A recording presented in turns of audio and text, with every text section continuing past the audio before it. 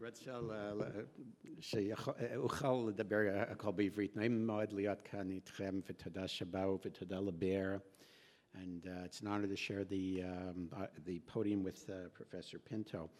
Uh, I'm going to talk to you today about a very interesting disease, an unusual disease, not necessarily an infrequent disease, but an unusual disease and a fascinating disease and a curable disease and a treatable disease. And I think that's why it's very important for everyone to know about it because you don't want to miss it. So we're going to talk about going from pulmonary embolism to chronic, to chronic thromboembolic disease. These are my conflicts.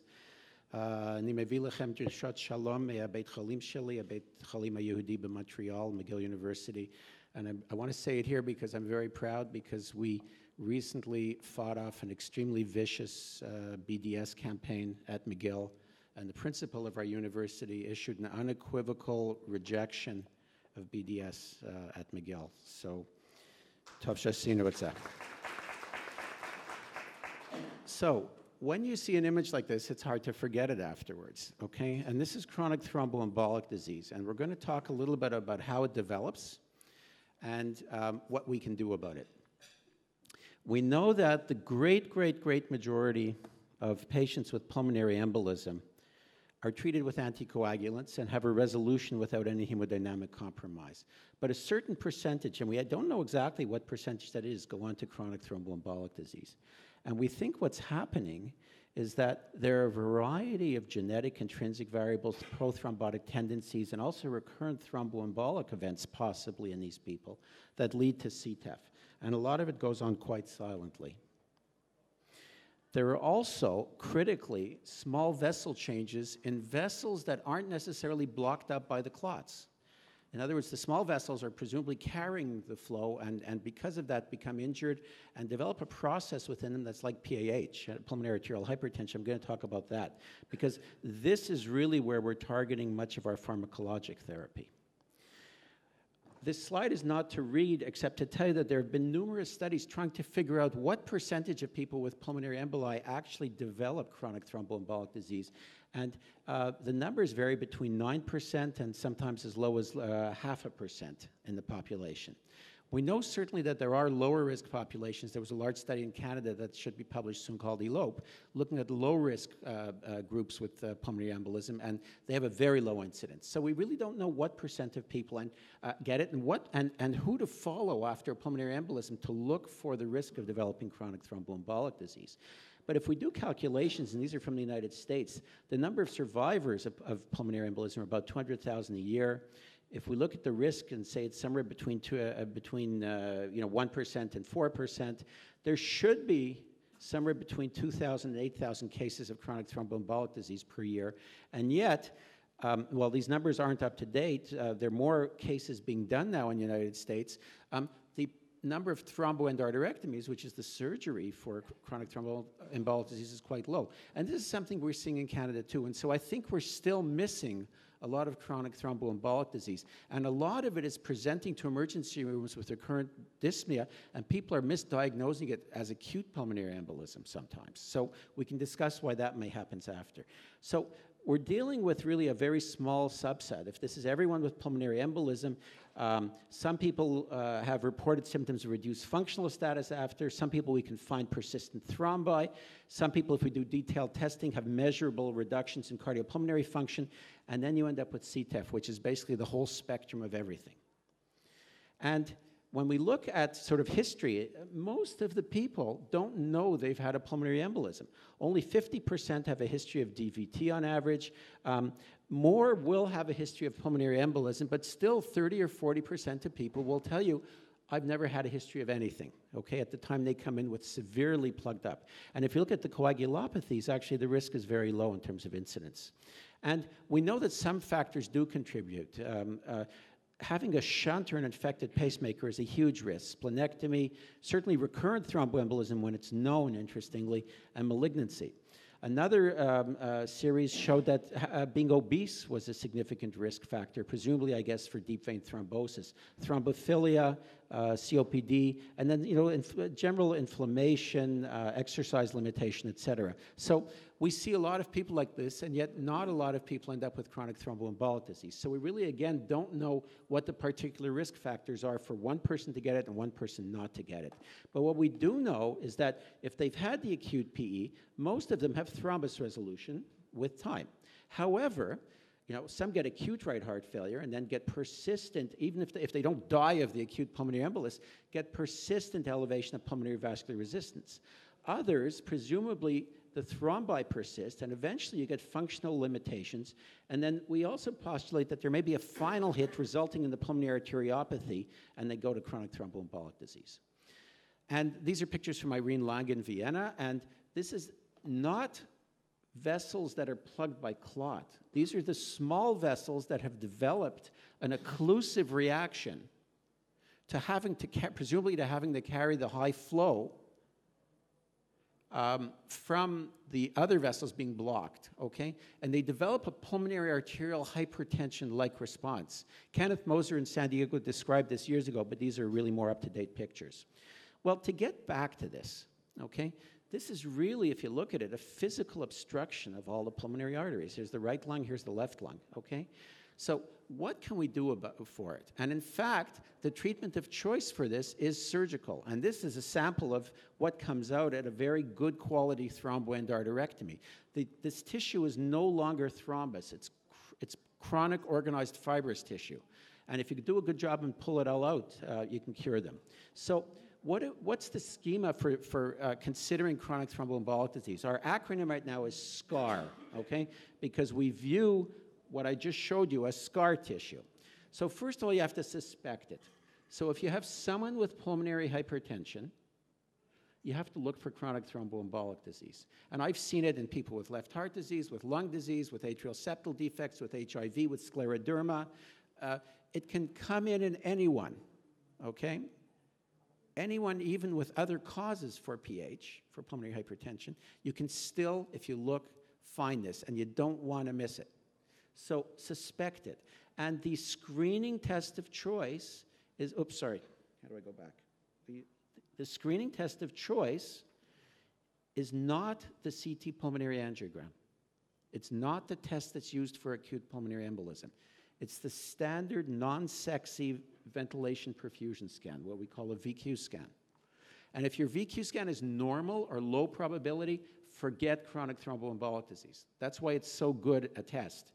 It's simple, it's easy, it's accurate, and its negative predictive value is perfect.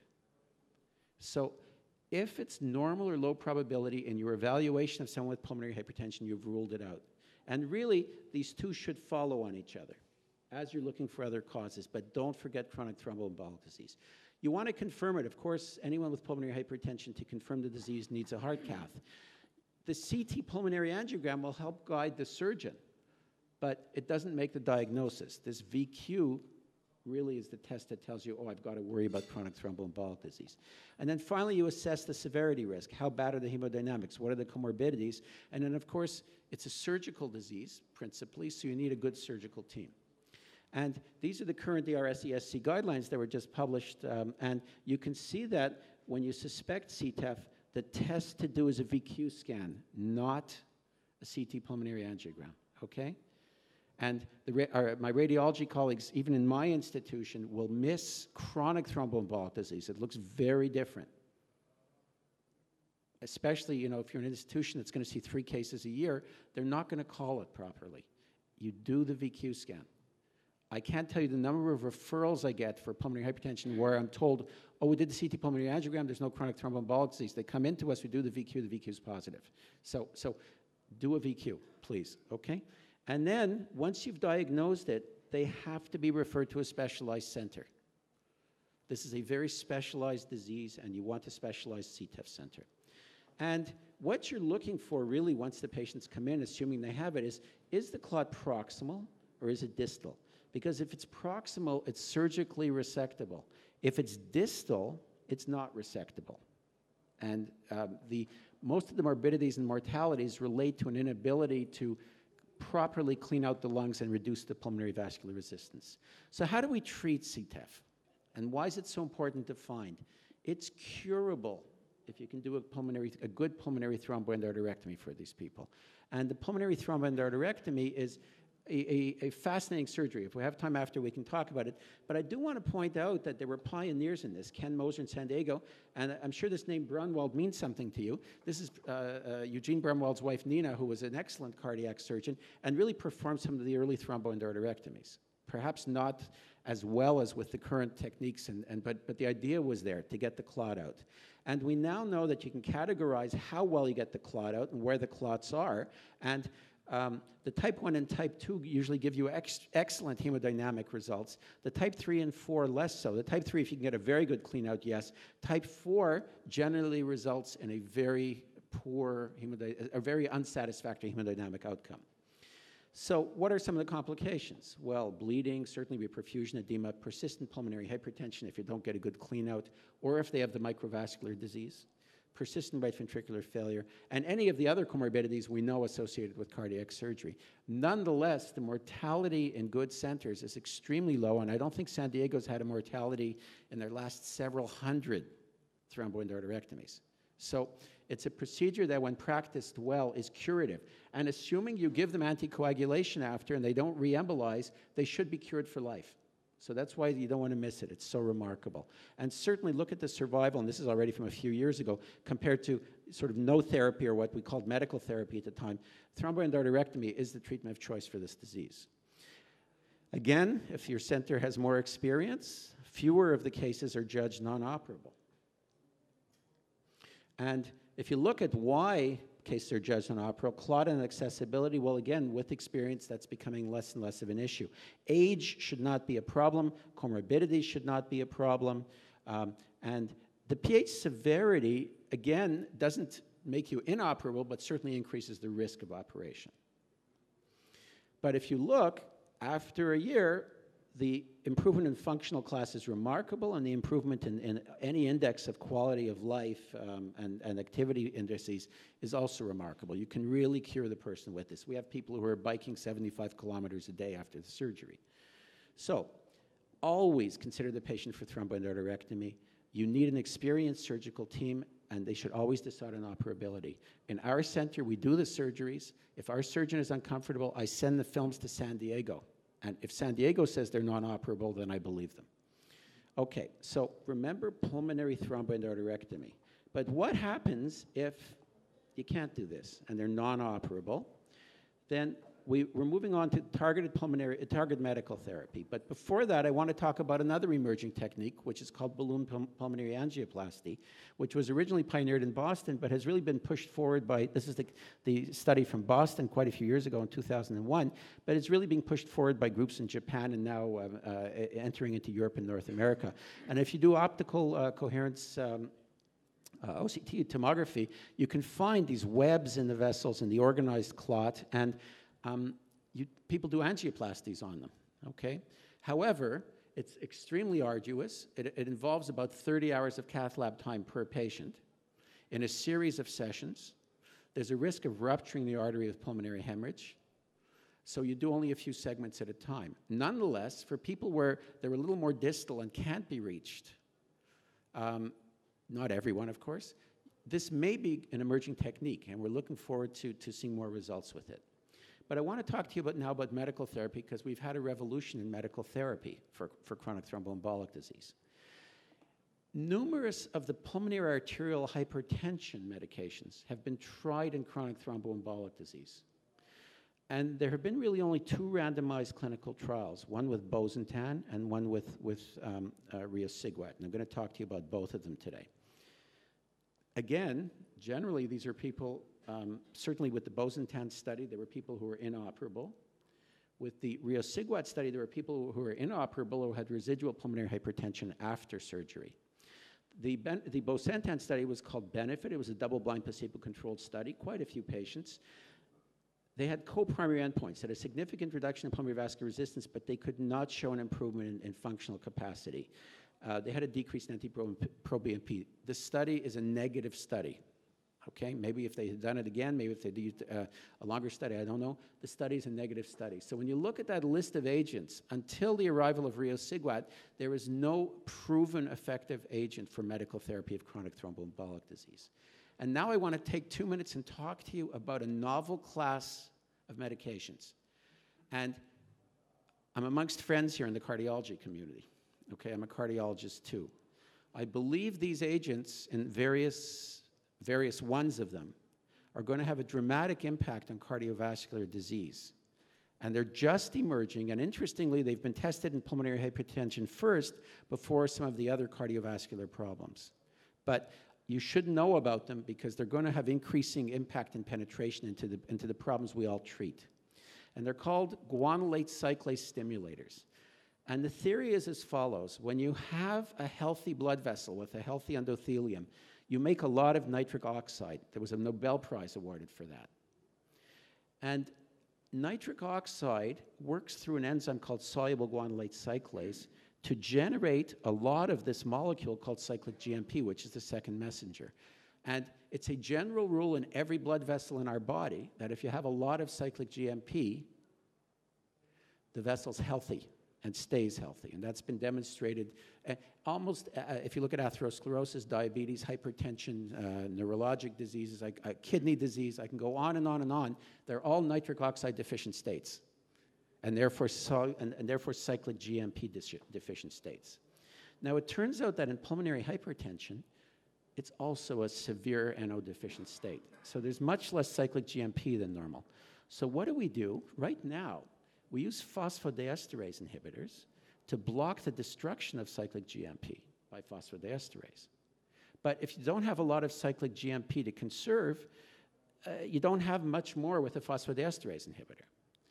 Well, what if you could generate cyclic GMP either independent of nitric oxide, which is remarkable, so you don't need NO, or if you have some NO, it works even better and suddenly you're back to generating huge amounts of cyclic GMP. And that's why I think this class of agents is going to be so important for a variety of cardiovascular diseases.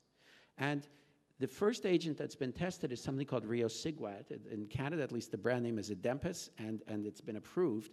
And um, it, it works by generating all this cyclic GMP. So you can't think of it as another phosphodiesterase inhibitor. It works on the same pathway, but it works completely differently and actually offers the hope of more effectiveness than a, than a phosphodiesterase inhibitor for a variety of diseases. And I'll show you that in some of my patients. So riociguat has been tested in chronic thromboembolic disease.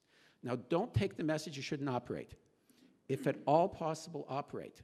But there are people who really are inoperable. There are people who've had the surgery and either had an incomplete cleanout or had a lot of that pulmonary vascular disease in the other vessels that have persistent pulmonary hypertension or recurrent pulmonary hypertension after chronic after the surgery. Those are the people that were tested in this study. And the study achieved its primary endpoint. The study is called the CHEST study. It achieved its primary endpoint very effectively in terms of six minute walk distance, but in a 16 week trial, it also had dramatic effects on hemodynamics, NT-proBNP, functional class. It didn't have an effect on time to clinical worsening, but there's not a lot of cl uh, clinical worsening in chronic thromboembolic disease in a four month period. And, and nonetheless, there was a trend. It affected dyspnea and it dramatically improved quality of life. And what's nice is the effect is sustained. And I can show you a curve now to two or three years. I have patients already on it five or six years who are doing dramatically well and remain stable. This um, was the placebo group, and the, even the placebo group catches up. And you can see in the later, in, in the longer term curves that it catches up even more. This is one of my patients with chronic thromboembolic disease. She came from another country to Canada. She had been given sildenafil because they had nothing else to give her. So she arrives on sildenafil and was actually really not doing well. And I transitioned her from sildenafil to, to Adempas, to riociguat. And you can see that, first of all, her Borg dyspnea scale declined dramatically, and her six minute walk improved very significantly. Now, you can say to me, okay, this is open label, uh, it's subjective, et cetera, et cetera. But this is not subjective. This was her NT-proBNP level and had been like that for a while, okay? And when I switched her, it fell dramatically and it stayed down and has continued to stay down. So riociguat is not another phosphodiesterase inhibitor. It's a very, very different agent. So what are the current recommendations? Pulmonary endarterectomy is the gold standard. Don't forget that. You need a chronic thromboembolic team with an experienced surgeon to assess whether a patient is operable. And we all ask for second opinions. This is not an ego thing. If we feel it's not operable in our center, before saying to the patient you're not operable, I send the films to the best center in the world to find out if they're operable. Okay? And these are the ESC/ERS guidelines. What's for medical therapy? Riociguat. And look, it's a class one recommendation for patients who've been having persistent recurrent chronic thromboembolic disease after surgical treatment or inoperable CTEPH, but by an experienced CTEPH surgeon, okay, and an experienced CTEPH team. And I'm going to stop there and take questions. Toda rabah.